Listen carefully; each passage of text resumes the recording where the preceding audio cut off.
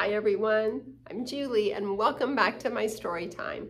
For this week's book, I chose a book that I've had for almost 30 years. It was written in 1993 and it is one of my favorites. And I love it because it gives us a little taste about Texas and it's entitled Alamo Across Texas. This book is written and illustrated by Jill Stover. And I want to read to you and the back cover about what they say from the author because it gives us an introduction as to why she decided to write this book. So I'll read this to you. Jill Stover's childhood memories of South Texas provided the inspiration for this story. And she writes, It strikes me now that my childhood environment was rather exotic. The landscape and the creatures were so different from those most people experience. In my own family alone, we kept a sheep, a raccoon, turtles, a small alligator, a jackrabbit, a pony, and a horse, to say nothing of all the dogs and cats we had about. So her life growing up in South Texas inspired her to write this book. So let's read it together. Alamo Across Texas. Who do you think Alamo is?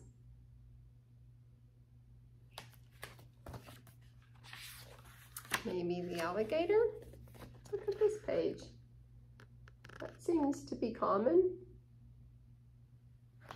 Let's find out what happens.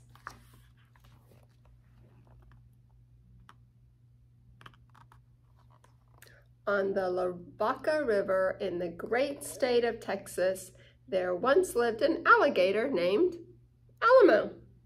Life along the river suited Alamo perfectly. He had plenty of water, lots of tasty fishes, a fine shade tree, and an interesting assortment of friends and neighbors. Look At all of those different neighbors he has. Can you name some of those animals? Maybe all of them?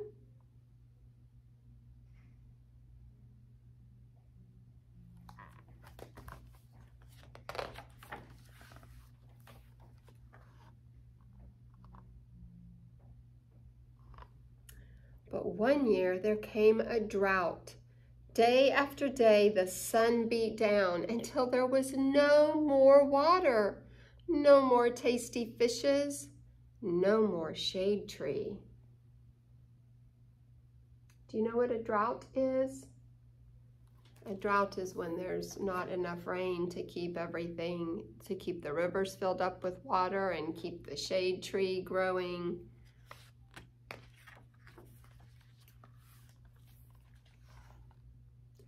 And no more friends and neighbors. Life along the river was no longer pleasant at all.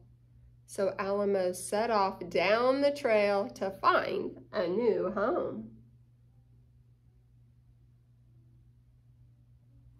Everybody's gone searching for a place where there's more water. He walked and he walked and he walked and he walked.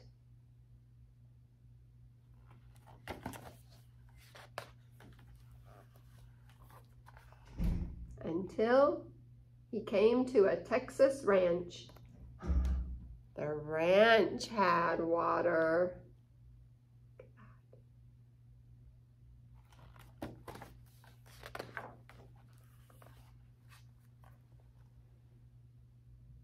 Hmm. But no tasty fishes, and his neighbors were too curious. So Alamo hit the trail again.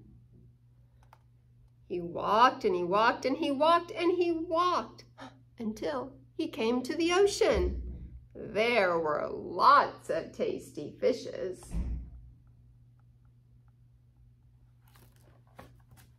Hmm, lots of fish jumping out of the ocean. But the water was rough and far too salty.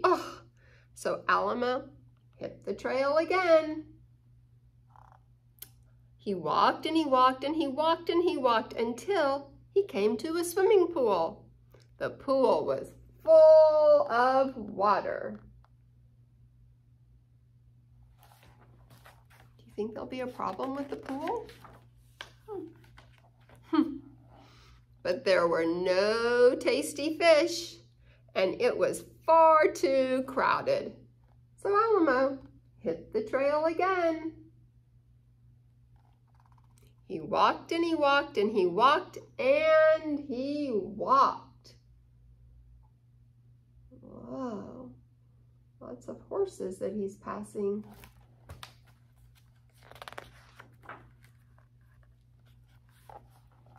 Until he came to a city.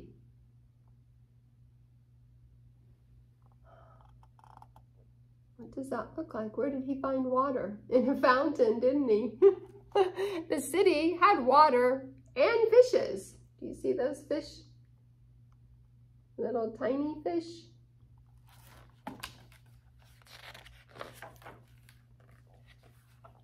But, oops, sorry about that. But what a racket. It didn't smell too good either. It was very noisy, isn't it, with all the cars? So Alamo hit the trail again. He walked and he walked and he walked and he walked. Do you see him leaving the city?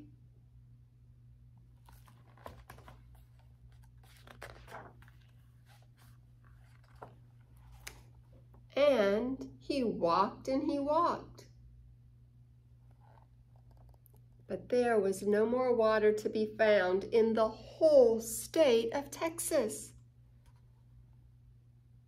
At the end of the trail, exhausted and dry as a bone, Alamo curled up under a cactus and fell asleep.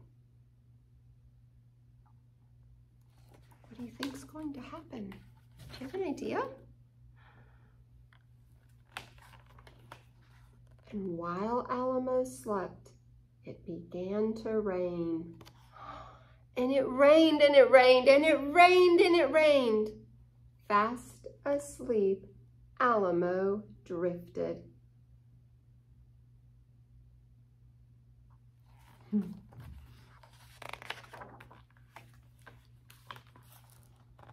and drifted in the morning, when he awoke, he could hardly believe his eyes.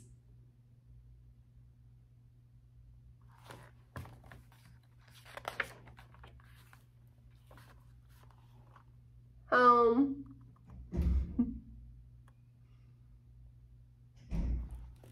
the drought ended and he went home again. He was with all of his neighbors and in the water with tasty fishes so wonderful. I like reading stories that teach us a little bit about the environment that we live in and the creativity that God had when he created the world and how every parts of our country and every parts of our world look a little bit different. And what a wonderful way to go exploring. And even if we can't go to South Texas right now, we certainly can read about it in a book. I hope you have a wonderful week. I'll see you next time. Bye-bye.